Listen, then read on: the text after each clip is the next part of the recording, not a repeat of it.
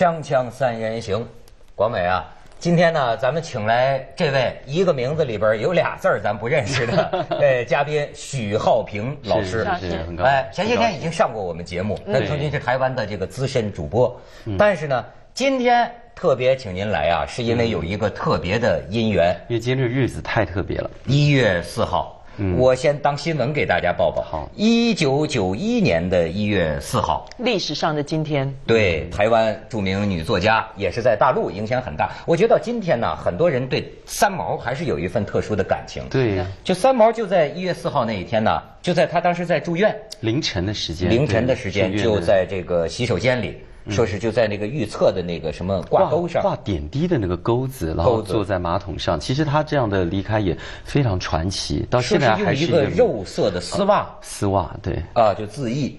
呃，但是直到今天呢，呃，我看到文章还是有人怀疑，就说他像不像自杀？因为听他家人说，当时到现场，他其实很安详，然后坐在马桶上，那么也感觉没有什么特别挣扎。到现在其实还是个谜啊。为什么说这个徐老师是个特别的姻缘呢？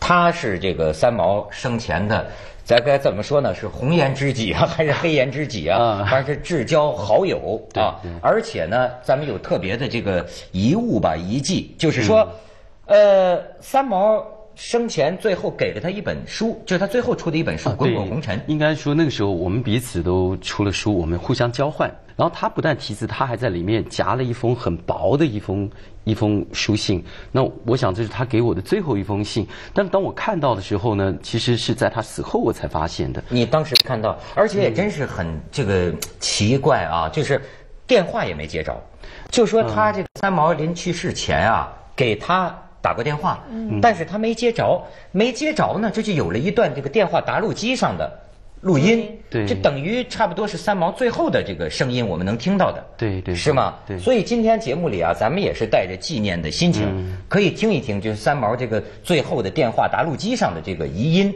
我们来听一下。阿雄，如果你回台湾了啊，我是小姑。你如果回台湾了，请你打医院。如果回来的话，小熊你在不在家？好，我跟你说，我是三毛哈。如果你明天在台北，请你打医院。再见。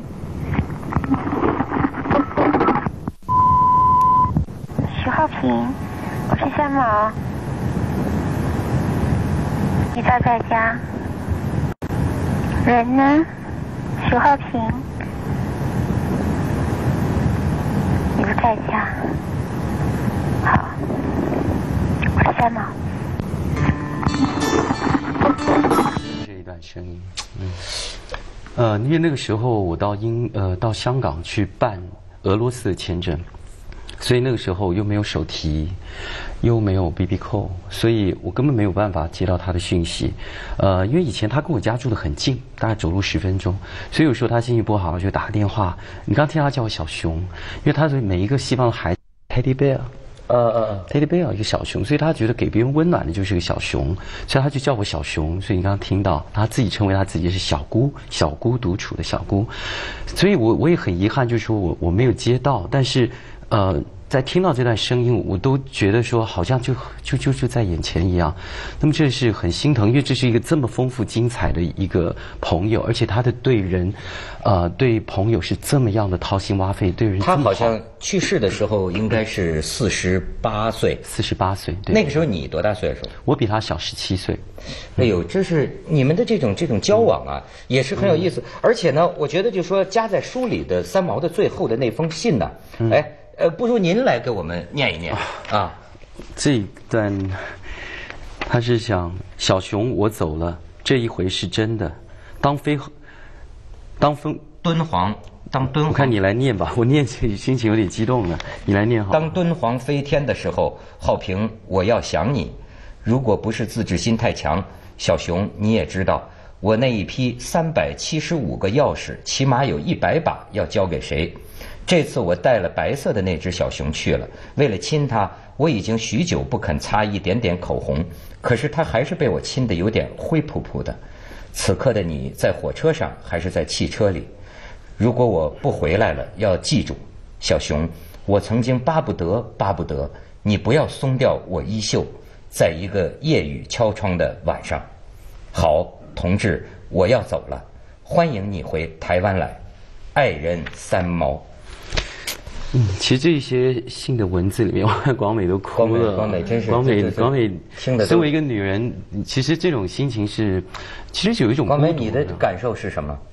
我首先要说，其实我们这样岁数的人，应该都是看着三毛的作品长大，然后还有他后来出了一些有声书，那个潘越云，还有潘越云跟齐秦、齐豫、齐豫，然后唱的《梦田》那首歌。每个人心里一亩一亩田。我受了很多他的影响，但是我说真的，我不是他的粉丝，我从来不是他的粉，因为我觉得。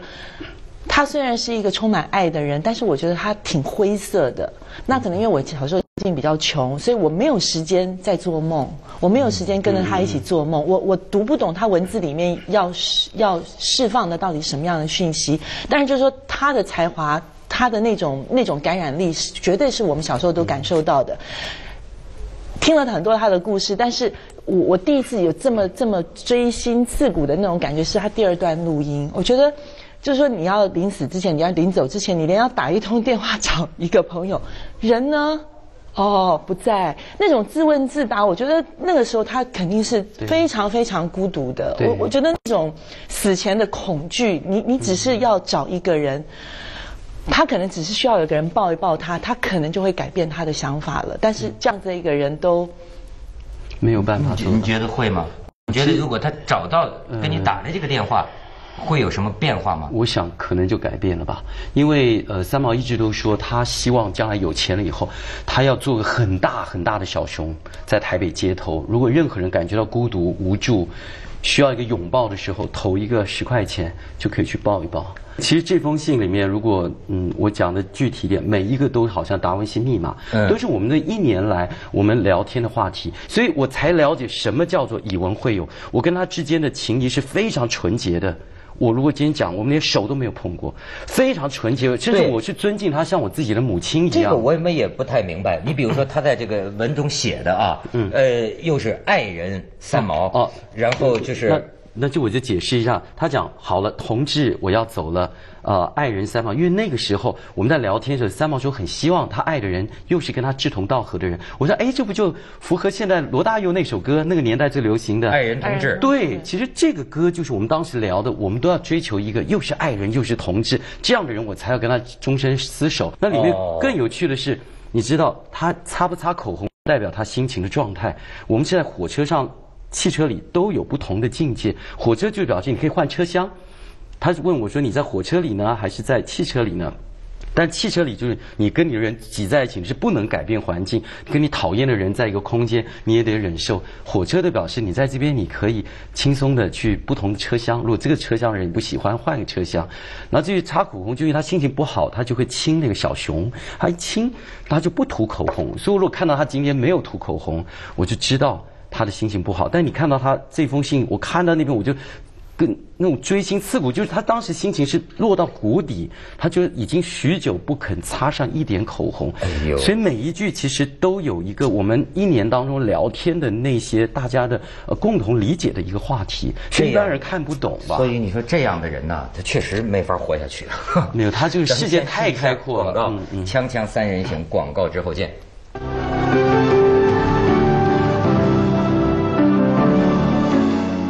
徐老师啊，我觉得是你的一生啊，实际上受三毛影响很大。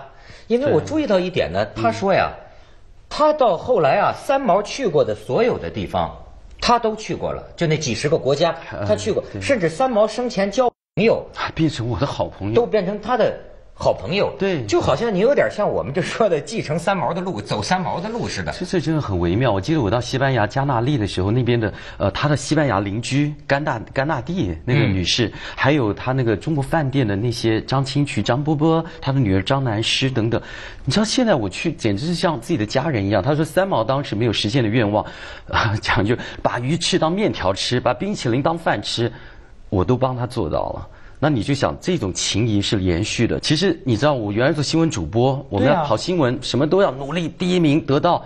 我觉得她是第一个让我感觉到，就是说，其实每个人都有一个女性柔软的心灵的角落。你停下脚步看一朵花，他这个著名的这个恋情，就是跟这个荷西 Jose 呃和和跟这个恋情，呃，也有一些人怀疑呢，这其中有一部分是不是他想象的，呃，甚至还有人说呢，说他到后来又要见贾平凹。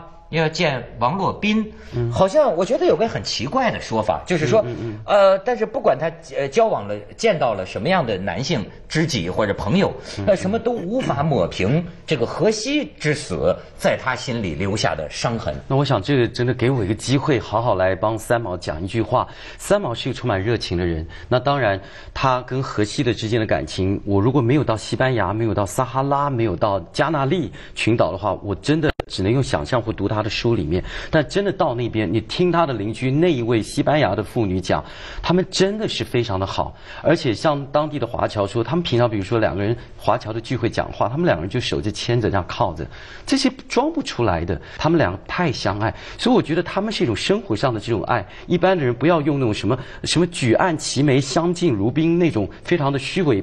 那种僵化的那种，呃，那种那种爱情的方式或者夫妻的相处方式来看，再来就是他对朋友之间，像他是欣赏贾平凹的才华，他跟我讲他对王洛宾是非常心疼这样一个啊对民谣有贡献的老人，却那么孤独的生活在那边。但你知道他会想去照顾王洛宾先生，就像他在台湾有一位很有名的画家叫席德进。好，还有一位就是很有名的作家，也是我们的新闻人前辈王大空。这两位你知道，他们在过世前，在同样的荣民总医院的病院病房，说实在，快将死的人，很多人都不愿意去看。三毛不是，三毛是过去说，我来了，我帮你按摩。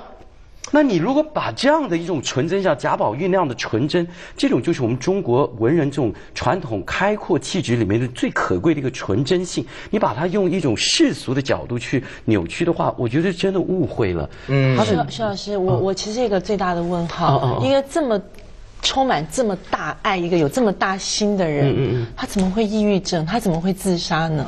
我其实这这我到今天我才比较了解，你相信吗？在当时我也无法理解，因为其实我一月二号，我在跟他聊天，甚至贾平凹那封信还是我帮他寄的，你知道吗？那当时我们在聊天的时候，他还告诉我他新的一年有什么样的计划，他也告诉我他有几个剧本这样出来，然后好几个国家翻译他的文章，他的记事本都规划好了明年的行程。但是三毛他其实是我们讲一句也不要，希望大家不要害怕，他真的是有一点通灵的能力。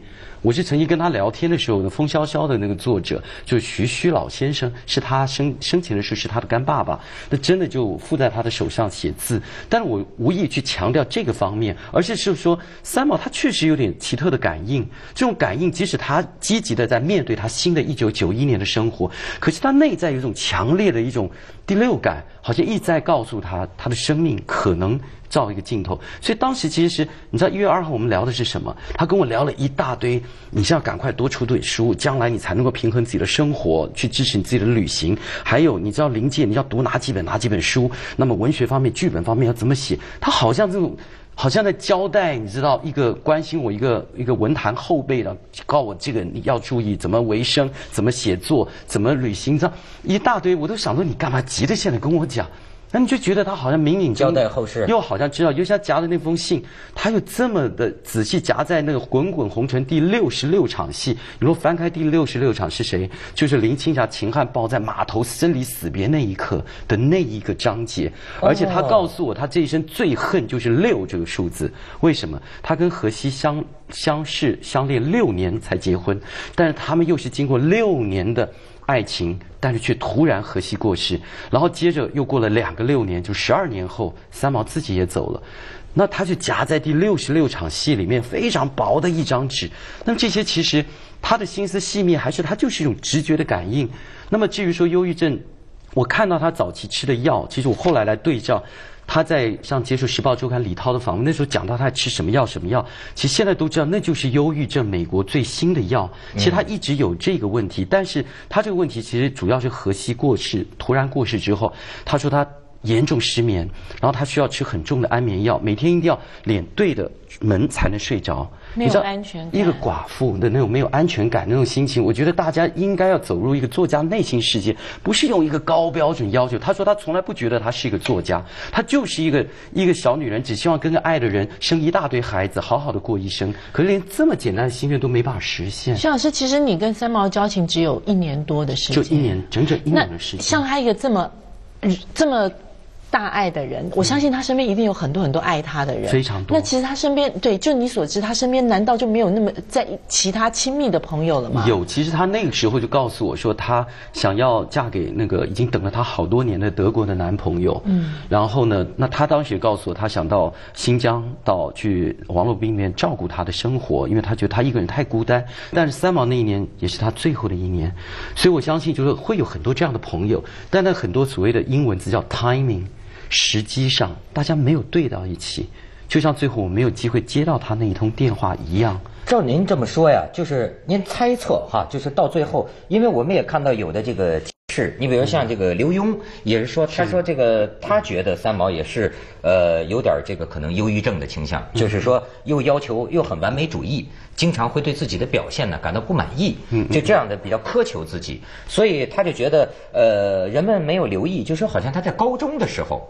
就曾经因为忧郁症，哦，是退过学还是是国初中？初中他没有念到高中，他初中就是因为他就是数学考试的时候，他那次想到好好考，就没想考了个满分，数学老师就认为他作弊，结果就羞辱他，就拿着毛笔在他脸上画，画了以后叫他到全部的北一女。台湾最好的初中那个时候去走一圈，你说他这个啊怎么承受得了？然后他第二天就没办法上学了。他说他当时就坐在门口要穿鞋，一穿鞋就昏倒。他不是故意不上学，他没有办法承受，心理、生理上都没办法承受，就在家里足足关了七年。所以你看到《滚滚红尘》里面那个女主角林青霞演的角色，其实她另外一种自我的象征，被关在一个阁楼。其实她那个是自我关，然后接着她的一个姐姐、两个弟弟放学回来，本来都一块吃晚饭，他们在讲今天学校谁打我，我考第一名，她连听这个都不能听，最后直接关在家房间里，连饭都不出去吃，妈妈把饭送到房间，这样子足足关了七年，自修，请老师来教。你有没有想过呀？就是他最后那一刻，就是一月四号那天，这个他做出这个决定的时候，你有没有想象过他是怎么想的？哦，其实你知道，在是说，当时精神失常了，我应该这样讲，忧郁症的人他就是他会有一种无法克制一种强制行为。因为我自己也是心理咨商师，所以我们在做很多心理咨商的时候，会发现他会有一种就不断的刷卡花钱。有很多人其实他那是一种忧郁症的表现，他并不是说真的好像败家的那种行为强迫症的强迫的行行为。为嗯另外还有一种像包括张国荣跟呃这个嗯就是三毛，我觉得都是一种忧郁症，因为照理讲他们的呃声名地位都是非常被尊敬崇拜，到好像没有找到任何自杀的这种因素在里面，所以我觉得在当时，呃，我觉得可能是他平常又又有这个吃安眠药的习惯，他的安眠药给一个朋友叫张拓吾，一个一个一个残障的作家，他才给他半颗，那个作家就睡了几天。好家伙，你就是那个药性已经很强了，你知道？再这样，当天他又因为他这个妇科的疾病，他这个呃开刀非常顺利，那又打了麻药，是不是又有点像是让他的精神上会有一点受到干扰？那只能这样讲，所以他让妈妈说：“你回去，我好好睡觉，明天要出院了，大家都不要吵他。”没想到就这样走了，所以我觉得这诸多因素，那么当然也看起来这就是三毛传奇的一生吧。咱们现在再来这个怀念一下这个徐老师在三毛生前两个人的另一段这个对话，也是三毛这个当年的声音。我跟你说啊，久没有跟艺人说话啊，说到你这个程度了。但是我每天都跟人说话。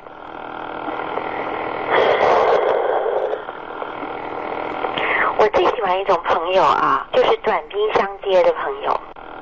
我觉得程度差太多的啊，不好玩。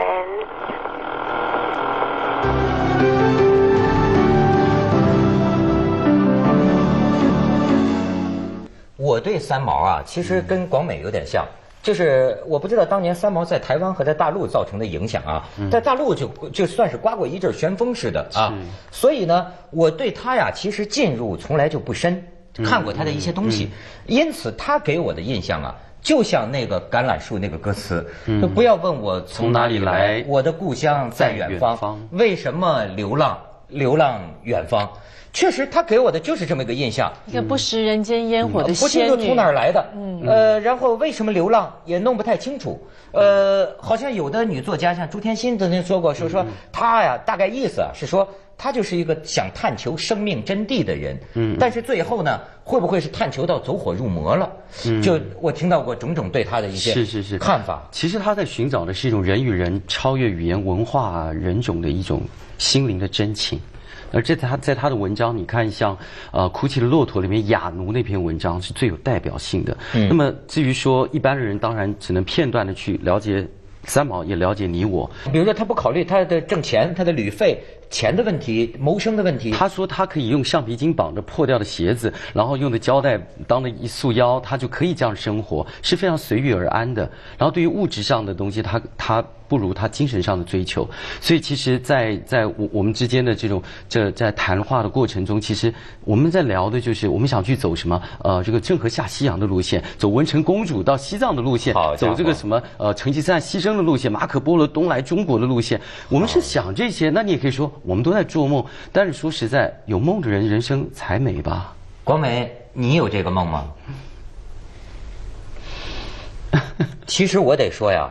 我有这个梦，是，但是我从来没觉得这梦是我配享受的，就是说要去要走玄奘走过的路，嗯是吧？要到，呃，前几前段时间我的一个朋友呃跟我讲，很有成就的人，对我很有触动。他现在四十几岁，他说我要退休了。我说你为什么要退休啊？他说呀，他说我想想这辈子我真想去的地方啊，我还没有去过几个。现在再不退休，没有没有时间，到老了走。好像一部电影一路玩到挂嘛，是吗？对所以你知道三毛他希望我做的是，如果他死了他没做，他希望我这样能够帮他抱到老虎，因为他属羊的会羊入虎口，我属猪的所以扮猪吃老虎。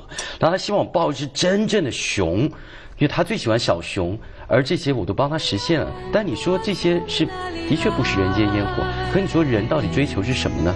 这种很多的价值就在一种人与人的一种真情和美，而这种真情和美有的时候就变成了好的文章，让世世代代流传下去。国美，你看他是继承了三毛的遗志，你有这个打算吗？需要我继承你的 遗志？对对对，跟谁活得长还不知道，继续做节目，这就是咱们小凡夫俗子的命运。